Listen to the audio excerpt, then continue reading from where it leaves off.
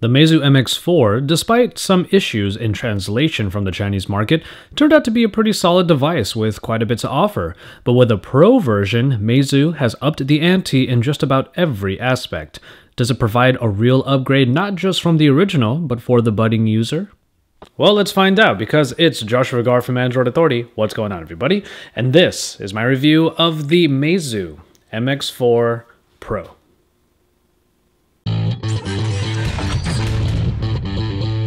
The MX4 Pro takes on the same aesthetic of the original, with a look that is a bit like the iPhone 3GS of old, right down to a home button found on the bottom front, but this time around, it is quite larger. Mostly due to a 5.5 inch screen, this phone is just outside the realm of comfort in one hand, though small bezels on the sides of the screen certainly help its case. As already stated, the home button up front is the main addition here and has a great tactile feel. Push it down and you'll be able to wake up the phone, but underneath the surface is a fingerprint scanner that we'll get into in the hardware segment. Curves on the side include the volume rocker on the right side, though the power button is at the top. There's just no way around it for most Android users. The top located power button takes a little bit to get used to. The back is removable and sports a nice non-glossy feel. Underneath the cover you won't be able to replace the battery though and ports for the headphone jack and the micro USB charging port are on the top and bottom respectively, with the latter also accompanied by a bottom facing speaker unit.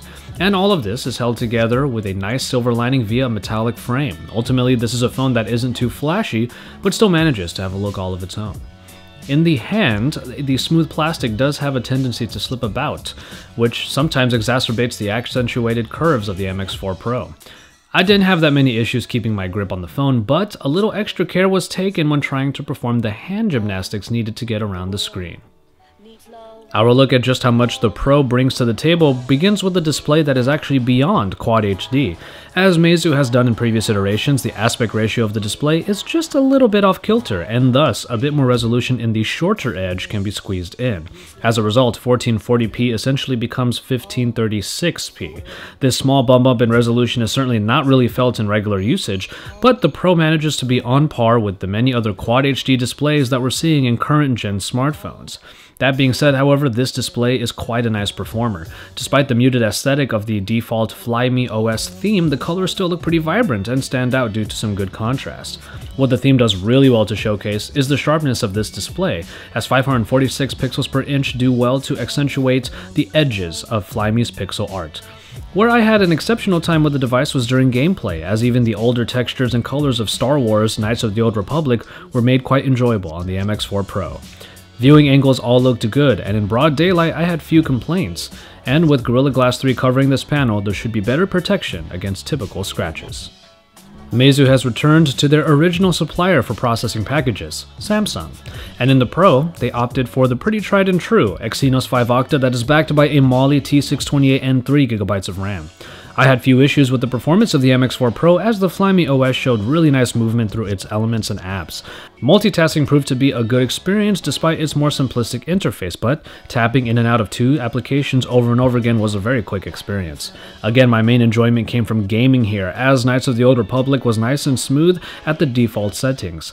I pushed the graphics performance further by maxing out the settings, but even then the game was still playable. It was at normal settings, however, that the game never missed a beat. To start off the hardware section, we'll talk about the speakers found on the bottom. While we always harp on rear or side-mounted speakers compared to front-facing units, Meizu has managed to make the sound experience on the Pro quite compelling. Sound is not only more than adequately loud, the soundstage is actually quite robust, bringing richness and body to mids and lows where plenty of other speaker units simply fail.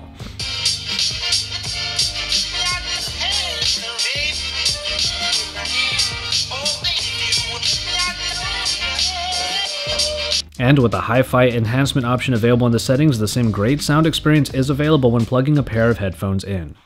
The good news continues with the fingerprint reader under the front home button. This is a press type of reader, meaning you just have to rest your finger on top. What makes this reader so good, however, is the fact that you can wake the phone with that same button. Press down, wake the phone, keep your finger in place, and the phone is unlocked. Meizu claims that you can go from prone to working in about half a second, and while I haven't actually timed it, it certainly feels pretty fast. You can also set fingerprints to unlock apps and other portions of the phone. Ultimately, it's a very reliable fingerprint reader, and I know that because for a few days there, I actually forgot what my unlock pattern was. During that time, I just kept using my thumbs to easily unlock the phone, and that was more than good enough. What was actually a bit of a sore spot for me was in the connectivity. Now, I completely understand that a phone from a foreign market might have some trouble connecting to the mobile networks here in the West, but using my T-Mobile and AT&T SIM cards simply did not get me faster than 3G internet on here, and even then connectivity was spotty at best. I'm sure that versions of this phone that are made for the West will definitely fare a lot better. That was just my experience with this particular phone. And in battery, I also had a pretty uneven experience. A phablet-sized 3350 mAh battery is in the MX4 Pro, and while it should be able to make the phone last quite a while, I simply didn't really have that experience. Now to begin with, having mobile network connectivity issues made it tough for me to have real day-to-day -day usage on here and be able to test the battery life on there. But I still had some interesting incidents. Mainly, overnight when I had this phone basically on standby as you can see here, it drained the battery overnight. Now, it's something that happened more times than not, and I thought that it was because I had apps running in the background, but even when I fixed for that, I still had a couple of instances where the phone would be dead in the morning when I left it, maybe around 75%. I will say that more recently this hasn't been an issue, but it happened more times than is negligible. Otherwise, I have been able to get a solid day out of the Pro before getting down to single digits, but we have to remember that this is without the high-speed internet as a factor. A powerful 20.7 megapixel rear camera provides very solid performance in the MX4 Pro. Large pictures are par for the course here as the front-facing camera sports a little more power too at 5 megapixels. The app provides a number of different modes and settings, mostly found by swiping side to side on the viewfinder. Modes from panorama to slow motion video to even a fully manual mode are available. Settings in the auto mode include HDR, which does a pretty good job of improving color output on a shot, though without the higher saturation, this effect is essentially what night mode produces. The macro mode proved fun to use, though I found it a little odd that the auto mode doesn't automatically activate the macro focus based upon the shot. Basically, if you aren't able to get focus on a close subject, just swipe over to macro and then you'll probably be able to get it done. And for self-portraits, there is the Beautify mode Asian market phones are so known for. Here's a shot of me normally, and then a shot of me as you can see via screenshots, showing that all the settings are at max. Videos in 4K can be captured and they look mostly good, though a lack of stabilization might make them finicky at times. And slow motion video can be captured at 720p resolution at a speed of 100 frames per second, exported out to 25 frames per second. Picture quality was actually quite good for the MX4 Pro, as details were very well captured and colors looked appealing when you could capture them correctly. I say this because I found exposure and white balance in auto mode to be a little bit jumpy. You have to be sure that what you want to get is what you see in the viewfinder. Nonetheless, when you can get a good shot off, you can be certain it's going to be pretty good. Even in low-light situations, the camera manages to bring about a pretty nice result, and if you needed a boost, the HDR and night modes will do well to enhance the scene. Just keep your hands as steady as you can when doing so. My only real gripe with the camera was a bit of a slow autofocusing time. The Pro certainly isn't the worst performer here, but it also isn't the best either.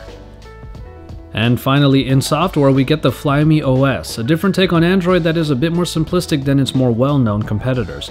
What you see is what you get in this interface, as there is no app drawer, and all icons thus have to be arranged in folders for organization. You may have noticed by now that there are no capacitive keys on this device, and this is because contextual soft keys appear when needed in applications. To go backward, the home button is your friend.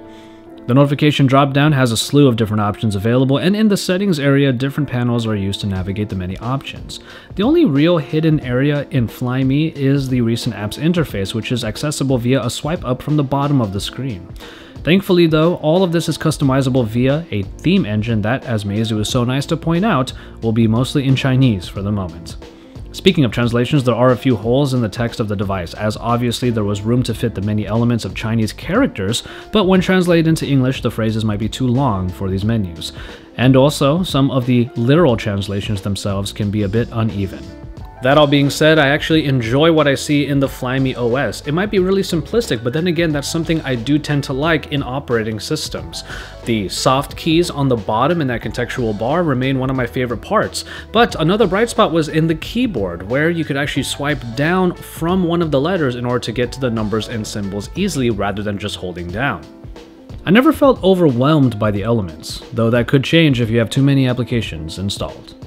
When converting the price from Asia, the phone comes in around $400, so we wouldn't be surprised if the Western retail price would be closer to about $500 unlocked. It's not a bad price point, but plenty of other phones in the Asian market have compelling experiences to offer and can rock similar or even lower price tags. In this new year, it remains to be seen just how much better the phones get in a market our Western viewers may not be so familiar with at the moment. And for that notion, the Meizu MX4 serves as a good example of what growth we're seeing out of China. Even just a couple weeks ago at CES 2015, we saw a few new high quality but affordable iterations from Chinese companies and the trend looks to be on the rise. Meizu is in the thick of that with a phablet offering that manages to be powerful but accessible at the same time.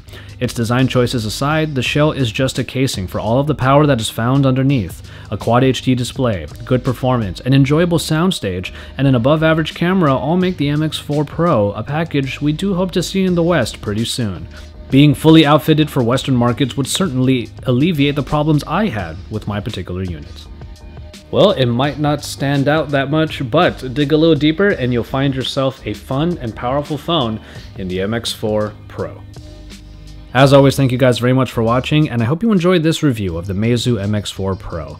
Its larger version of the original brings even more power underneath, and it happens to be an enjoyable experience because of it. It is a pretty good phone, but we don't know when it's going to come to the West, but you can stay tuned and see if it does here at Android Authority. So don't forget to subscribe to our channel and drop us some likes on our videos.